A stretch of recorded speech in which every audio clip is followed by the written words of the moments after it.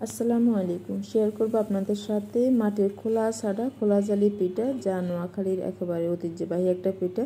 সাধারণত এই পিঠা তৈরি করতে মাটির খোলার প্রয়োজন হয়। কীভাবে মাটির খোলা ছাড়া এই পিঠা তৈরি করবেন সেটা নিয়ে আজকের এপিসোড এর জন্য এখানে আমি চাউলের গুঁড়ো নিয়ে নিলাম। সেই সাথে স্বাদ মতো লবণ আর সেভেন্টি পার্সেন্ট পর্যন্ত গরম পানি নিয়ে অল্প অল্প পরিমাণে দিব আর একটা মিশ্রণ তৈরি করে নিব। পানিটা একসাথে বেশি না দিয়ে অল্প অল্প পরিমাণে দিয়ে এই মিশ্রণটা তৈরি করে নিতে হবে।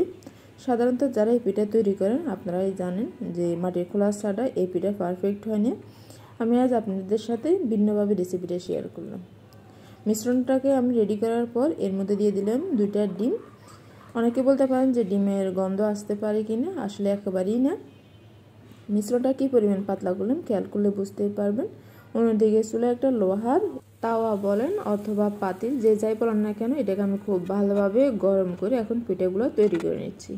তৈরি করার আগে আমি নিজেও ভাবিনি যে এত পারফেক্ট পিঠা হবে, তাও আবার খোলা জালি পিঠে।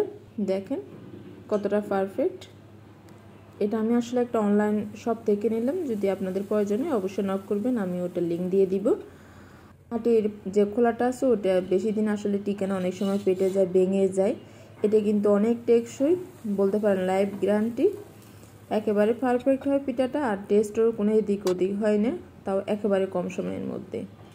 যেহেতু এটা লোহার, তাই এটা নষ্ট হওয়ার বা জং ধরারও কোনো একটা চান্স নাই, এটা একেবারে ভালো।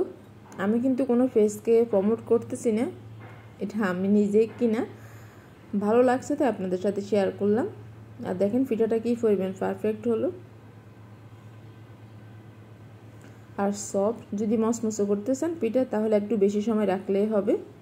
আর গরম গরম পরিবেশন করবেন, এতে কিন্তু মসমসে বাপটা থাকবে। আপনারা আপনাদের পছন্দ অনুযায়ী এটা পরিবেশন করতে পারবেন। আর আজকের রেসিপিটা কেমন লাগছে অবশ্যই জানাবেন। ভালো লাগলে অবশ্যই ফ্যামিলি অ্যান্ড ফ্রেন্ডদের সাথে শেয়ার করবেন। আর পরবর্তী রেসিপি দেখার জন্য আমাদের চ্যানেলটি সাবস্ক্রাইব করে সাথে থাকবেন। এতক্ষণ ধরে রেসিপি দেখার জন্য আপনাদের সবাইকে অসংখ্য ধন্যবাদ। আল্লাহ হাফিজ।